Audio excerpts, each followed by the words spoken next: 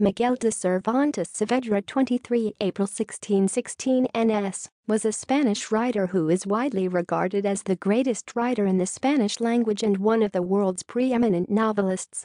His masterpiece Don Quixote has been translated into more languages than any other book except the Bible. Don Quixote is sometimes considered the first modern novel, a classic of Western literature ever written.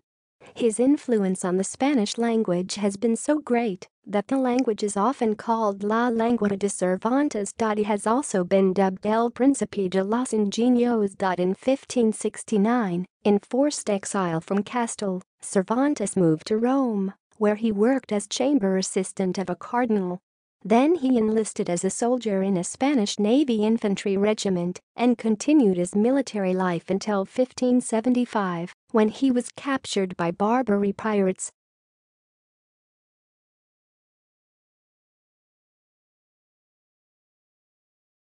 After five years of captivity, he was released on payment of a ransom by his parents in the Trinitarians, a Catholic religious order, and he returned to his family in Madrid. In 1585, Cervantes published La Galatea, a pastoral novel. He worked as a purchasing agent for the Spanish Armada and later as a tax collector for the government. In 1597, discrepancies in his accounts for three years previous landed him in the Crown Jail of Seville. In 1605, success of the first part of his Don Quixote, published in Madrid, signaled his return to the literary world. In 1607, he settled in Madrid, where he lived and worked until his death.